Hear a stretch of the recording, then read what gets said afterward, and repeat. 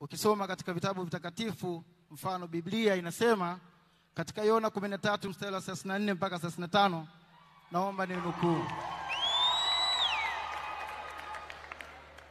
amri mpya nawapa, mpendane kama vile nilivyowapenda ninyi, nanyi mpendane vivyo hivyo. Hivyo watu wote watatambua kuwa ninyi mmekuwa wanafunzi wangu mkiwa na upendo ninyi kwa ninyi. Lakini pia Mathayo 22:39 inasema, na amri ya pili ni kama ya kwanza, mpende jirani yako kama unavyojipenda wewe. Mwisho wa kunukuu. Ukitazama kwa ukumbi huu ulivyo na bashasha na kufurika, unauona upendo ndani ya hii ukumbi.